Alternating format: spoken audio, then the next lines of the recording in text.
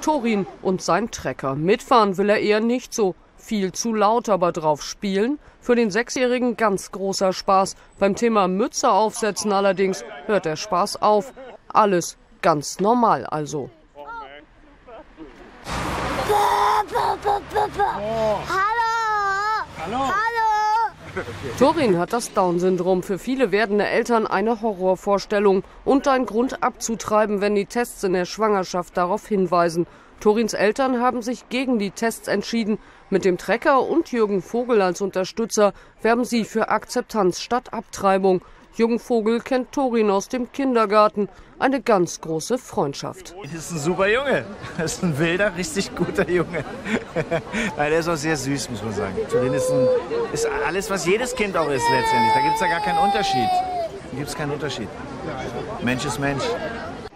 Und um das allen klarzumachen, fährt er eben mit Torins Vater und Kindern mit Down-Syndrom durch Berlin. Die Botschaft, Down-Syndrom-Kinder haben ein Recht auf Leben. Dafür ist Kurt Groß quer über die Alpen gefahren. Mit dem Traktor und mit Torin. Dass sein Sohn anders ist, war aber nach der Geburt ein Schock. Ja, das war furchtbar.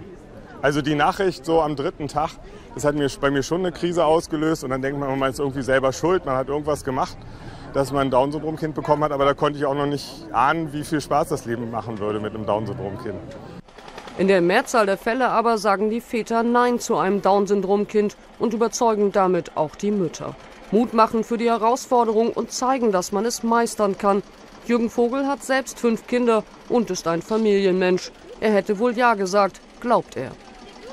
Jeder muss das selber entscheiden. Also jede, man kann jetzt nicht jemandem sagen, wie er sich entscheiden soll. Was ich aber toll finde, ist, dass man, dass man zeigt, dass es ganz viele Menschen gibt, die Ja sagen und dass sie zeigen, dass es ein Riesengewinn ist. Also für, die, für das Leben sich zu entscheiden, für die Kinder zu entscheiden und für, für die Familien sich zu entscheiden.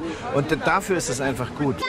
Und für Torin ist es auch gut. Seine Eltern lieben ihn so, wie er ist. Und er kennt Kinder, die auch so sind, wie er ist.